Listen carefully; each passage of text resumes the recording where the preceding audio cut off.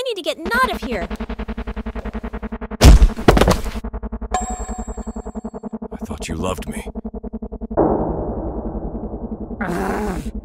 Why do you always stay away from me?